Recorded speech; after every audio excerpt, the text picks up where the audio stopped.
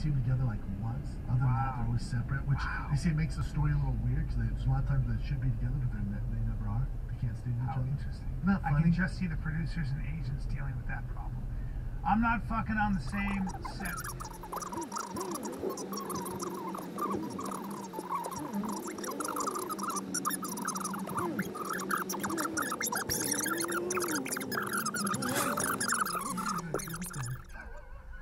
I thought it had to do with them being. No, what I was going to say is this.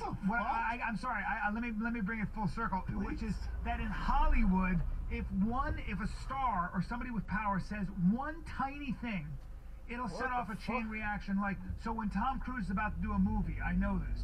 Tom Cruise will say yes to a movie. The year before he's thinking about doing the movie, there is a whole machine getting ready and in place in case he says yes.